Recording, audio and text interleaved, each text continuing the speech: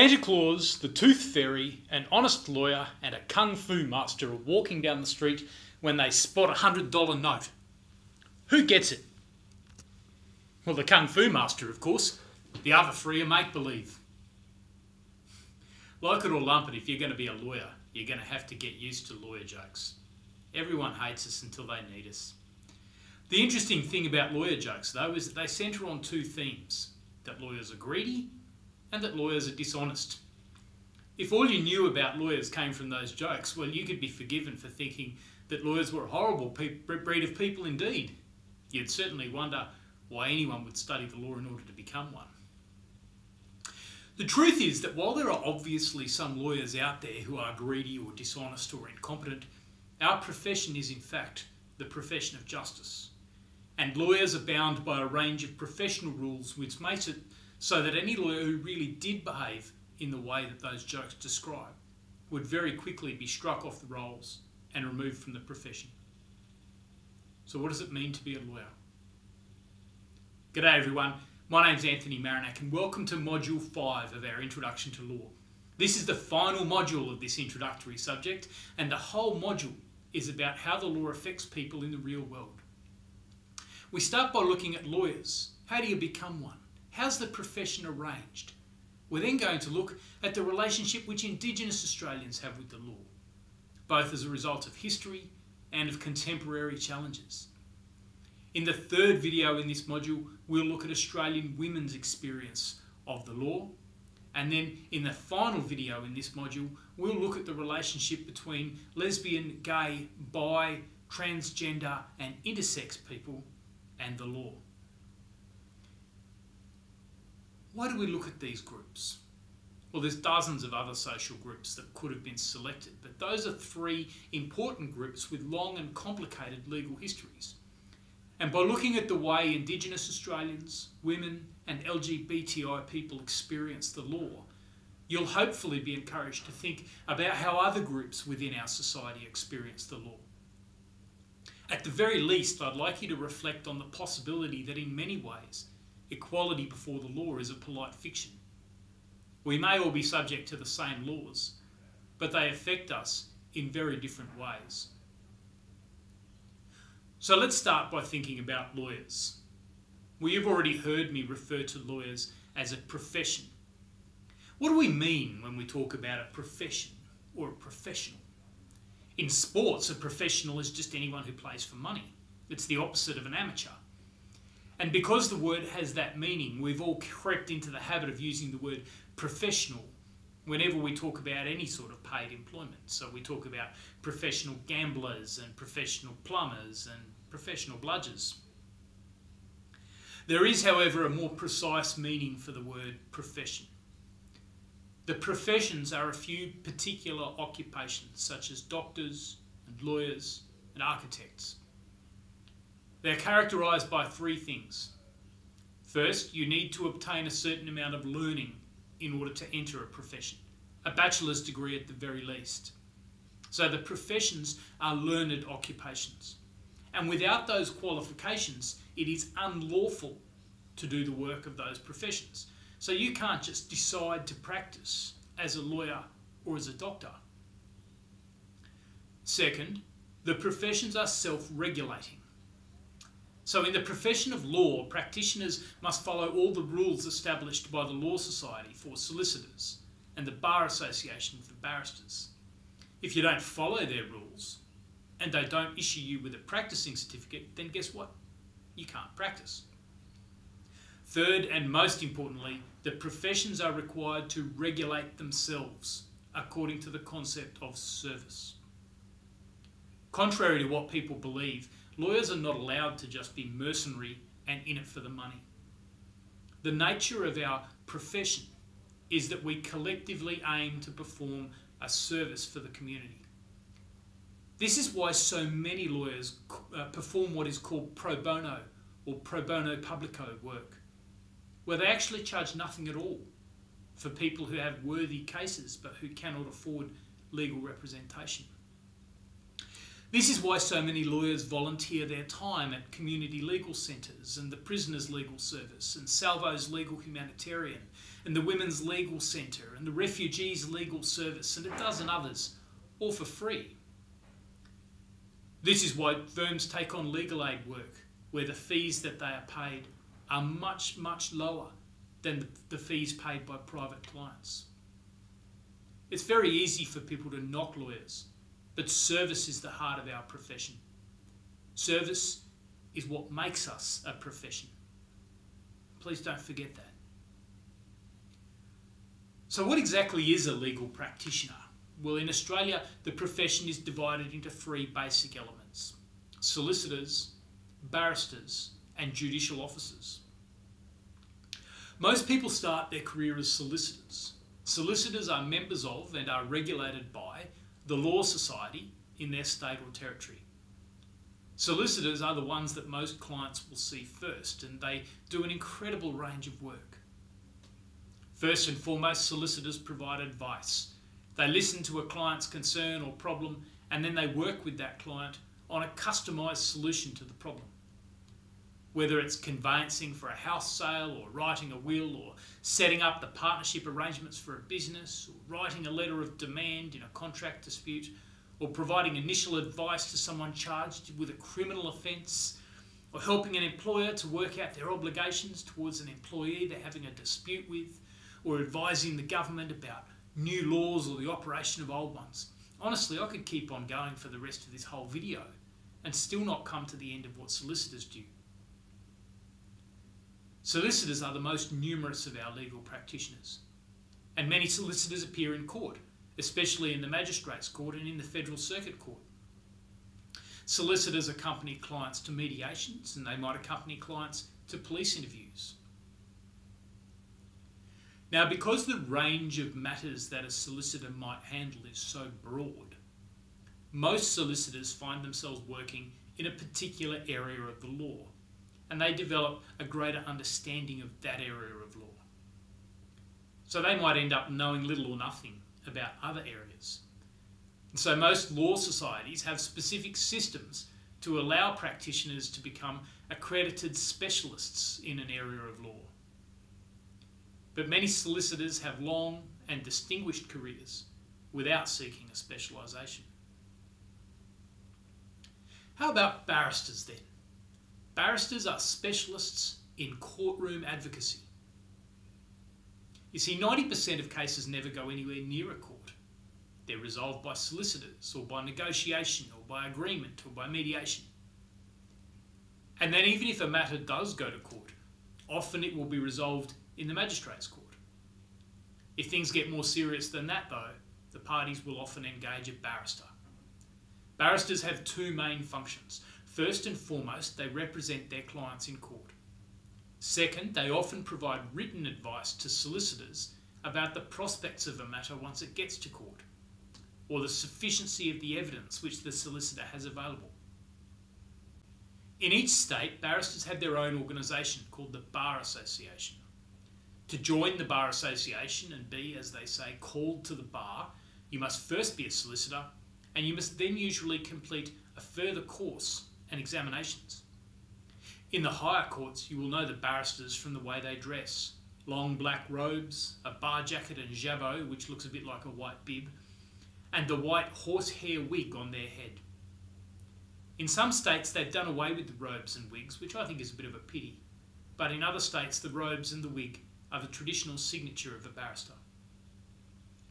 Barristers are referred to as counsel, so if Mr. Smith is a barrister, he might be referred to as Mr. Smith of Counsel. The most senior barristers are known informally as silks, and it's said that they have taken silk. Their formal title is Queen's Counsel or Senior Counsel. So if our friend Smith took silk, he would be Mr. Smith of Queen's Counsel. The final thing to know about barristers is that they almost never see the client directly. The client hires the solicitor and the solicitor briefs the barrister. Now, I'm a barrister myself, and it's entirely common for me to not even meet the actual client until the day of court. So, hopefully, that clarifies the distinction a little because now I'm going to make it a little bit more complicated. You see, in most jurisdictions in Australia, they have what they call a fused profession. So, legal practitioners, once they're admitted to practice, are admitted as a solicitor and barrister, and there's theoretically no distinction between the two. However, old habits die hard, and even in the fused states, there's a tendency for a legal practitioner to either practice as a solicitor or as a barrister. So, even though in theory there's no distinction between the two, in practice the distinction often remains. Finally, let's think about judicial officers. The first and most obvious type of judicial officer is a judge. For somebody to be a judge, though, has a special meaning. You see, once judges are appointed to the court, they usually serve either until they choose to resign or until they reach a specific age. In the Commonwealth, it's 70 years of age. Unless they are convicted of a serious crime or unless it's demonstrated that they've lost their capacity through, say, a mental illness, a judge cannot be sacked. Now, if you think about it, you'll see how important this is. Imagine if governments could simply sack judges who made decisions the government didn't like. Imagine if judges had to make rulings with half an eye on their popularity rather than on justice. What an awful, awful situation that would be. So we protect judges. All they need to consider is the case before them and its merits according to law. Judges are always referred to as Your Honour. The second type of judicial officer is a magistrate. Magistrates are very similar to judges. Traditionally, some magistrates were known were what is known as lay magistrates, meaning that they weren't actually lawyers. However, nowadays virtually all magistrates are lawyers and they're appointed on essentially the same basis as judges, so they receive the same protections. And they are referred to as Your Honour. The third and final type of judicial officer for our purposes is a registrar. A registrar is one step below a magistrate or judge, and they exercise certain powers which have been delegated to them by the court. Often those powers are very significant, but they tend to be in areas which are either preliminary or non controversial. So your first appearance in a matter might be before the registrar, and the registrar will then determine whether the matter should proceed to a judge or a magistrate and they might give directions about things that both sides have to do, such as disclosing documents.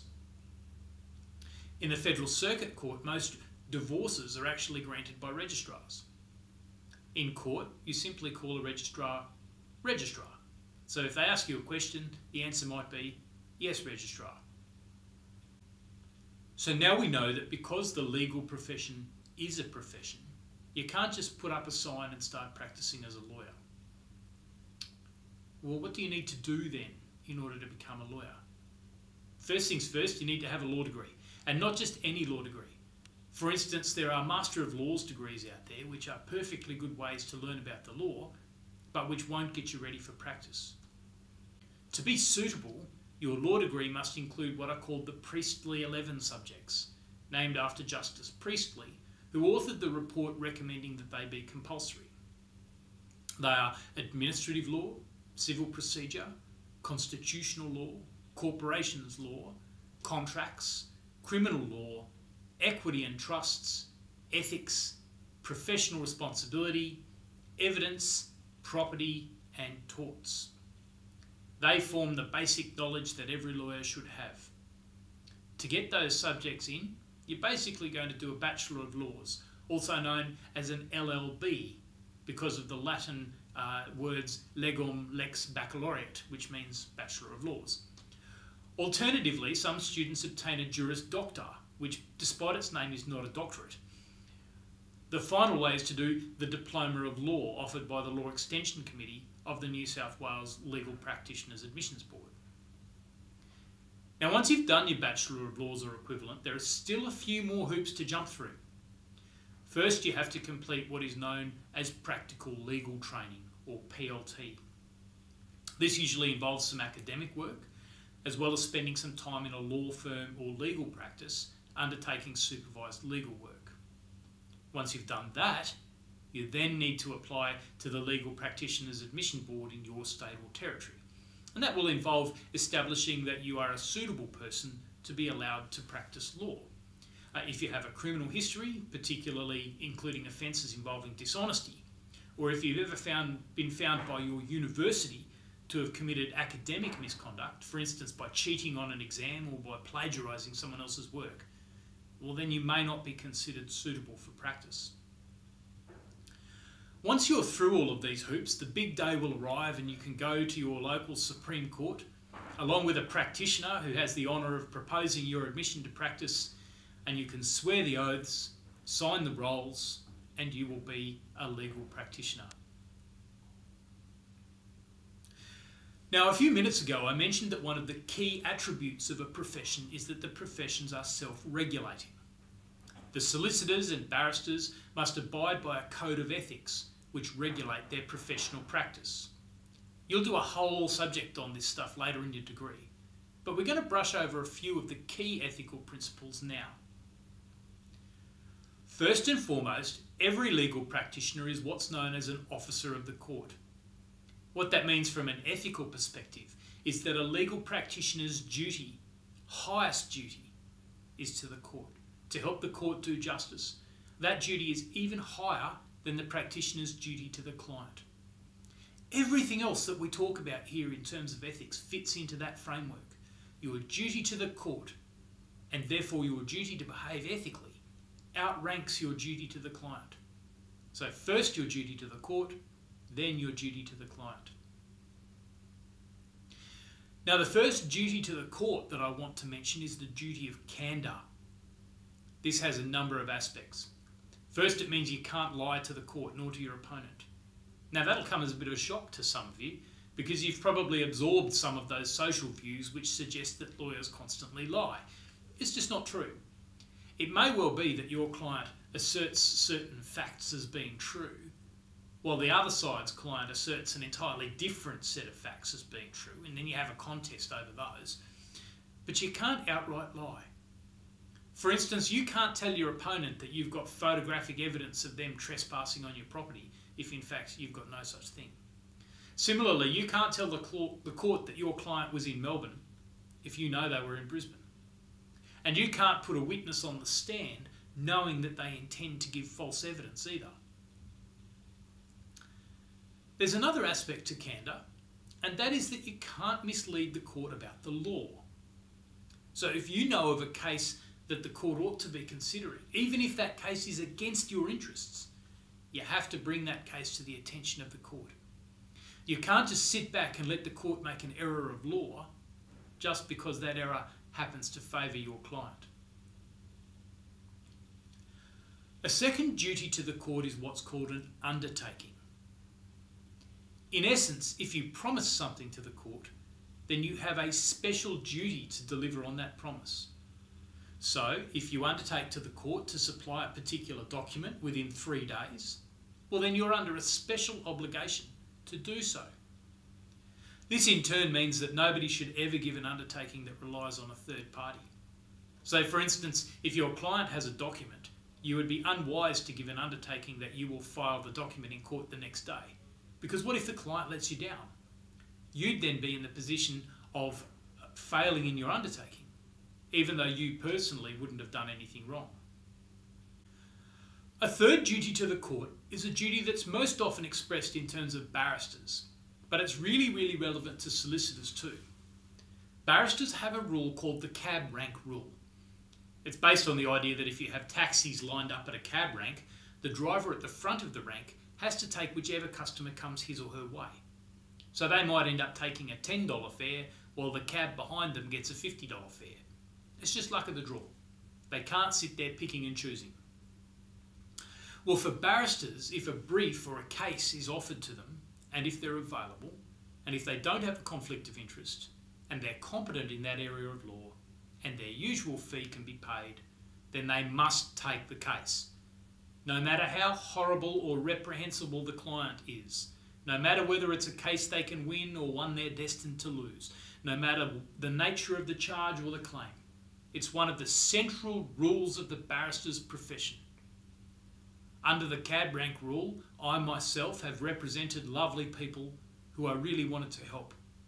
And I've also represented people accused of awful crimes. And I've done my very best to work hard for each client and to respect them and to put their case as well as I can. And in each case, I've been instructed by a solicitor who did exactly the same thing I did. Solicitors are not bound by the cab rank rule, but many solicitors act as though they were.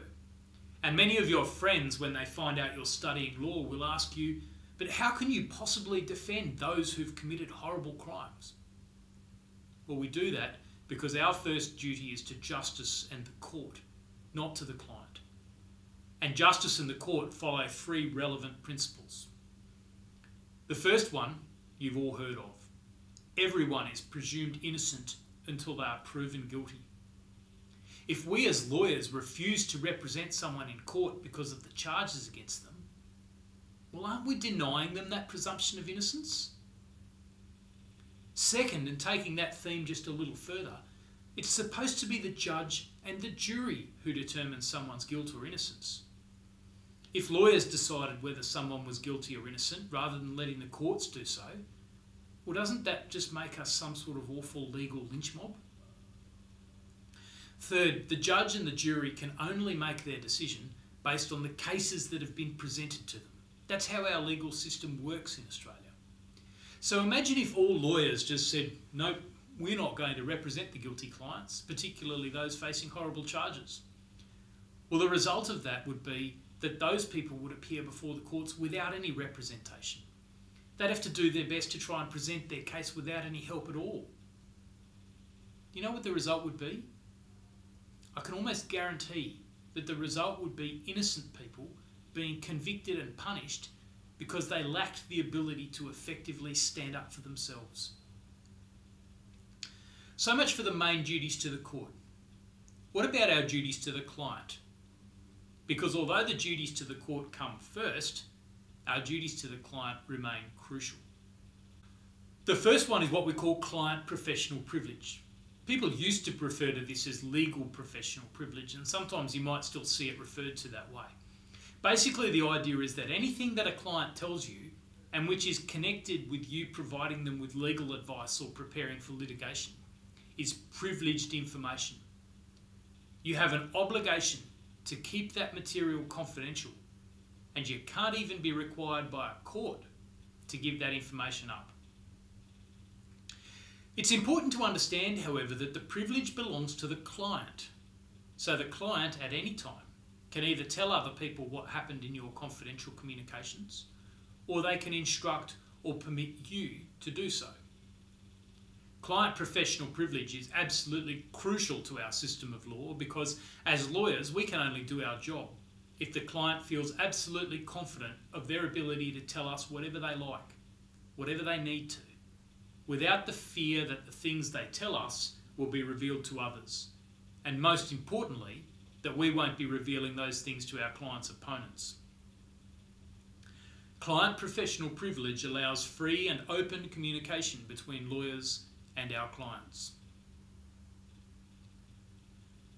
The second key duty to our client is that as lawyers, we must follow all of our clients' lawful and proper instructions. You see, we're legal advisors, not legal directors. And ultimately, it's the client, not us, that has to live with the consequences of any legal dispute. What that means is that sometimes our clients will listen to our advice and then ignore it and instead make absurd decisions. We will advise them to settle and they'll choose to fight it out. Or we'll advise them that the case against them is very strong and they'll plead not guilty anyway or we'll advise that we think they can get them more time with the kids, but they'll settle for what's on offer. Once we have instructions, we put those instructions to the court and our opponent. You can't go outside your instructions, no matter what. Win or lose, we get to walk away with our fees paid. The client has to deal with the consequences. So the client should be the one making all the big calls. The third key duty to our clients is to ensure that we are not under any conflict of interest in relation to the matter. That means, in essence, that we've if we've provided advice to the other side in the past, well, then we shouldn't provide advice to this client now. Because when we're providing advice to the other client in the past, we would have learned about them. And knowing those things might change the nature of the advice that we give the current client, and that's not fair. How can clients speak to their lawyer openly and honestly if they feel like there's a chance that anything they say might come back to bite them in some later proceeding if the same lawyer is against them. In the same way, if the lawyer themselves has an interest in the case, it's usually best for that lawyer not to be involved. So let's say a client wants to sue the garage where my son works as a mechanic in relation to some repairs, where you can see that I might not be considered impartial in that situation. So the best thing for me to do would be to stand aside and let someone else have the case. Finally, a lawyer should be very careful about advising more than one party in a dispute. Sometimes lawyers might actually do this, but it has to be done with the greatest of care and with everyone's agreement. And you can only represent two parties if their interests are identical. If they end up with different legal interests, then you have to withdraw altogether and it gets very messy indeed. So, for instance, let's say you're representing a married couple who sustained injuries in a car crash and they're suing the driver of the other car. Well, at first it looks pretty reasonable to represent both of them. But then, if it turns out that the husband was driving and he'd had a few drinks, suddenly they stand in different legal positions, don't they? Because she might well be blameless and he might not be. At that point, all you can really do is step out of the picture. What you must not do is allow yourself to become mired in a conflict. If you think there's even a chance that others might consider you have a conflict, then the best thing to do is to step aside. There are a couple of other things to think about. They're not quite ethical issues, but they're in the same ballpark. The first one I want to mention is courtesy. You see, lawyers work in an adversarial environment. We go in and fight for our clients. But there have to be limits. We're all members of the same profession and we're all officers of the court. We need to be able to put our instructions firmly and vigorously, but without getting into the game of treating our colleagues like enemies. One way in which we do this, particularly in the world of barristers, but also among the better solicitors, is by being extremely careful about courtesy to one another.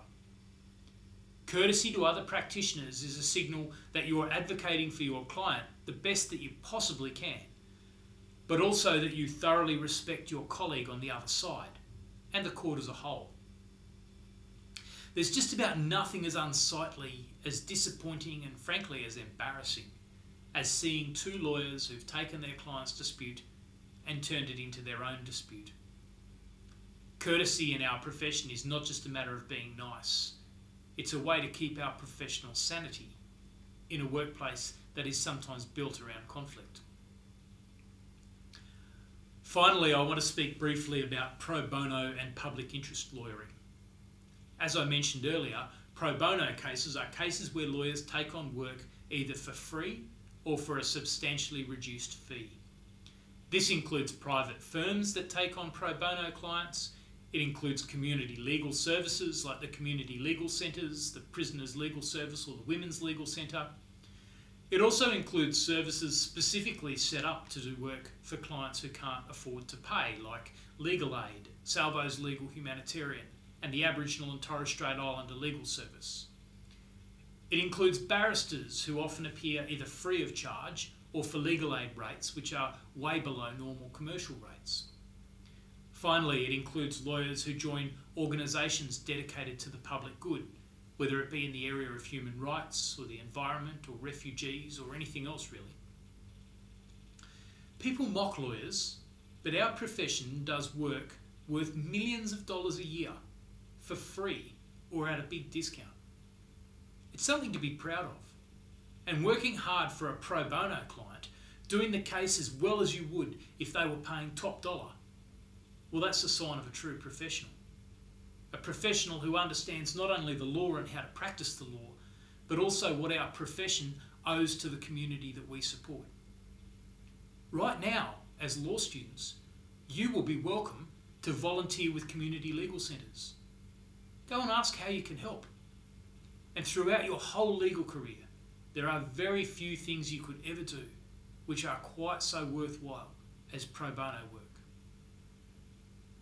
So there's a bit about being a lawyer. Many of you, once you've finished studying the law, will go in other directions and not practice. And that's okay. You're still part of this profession. And there's still a contribution for you to make.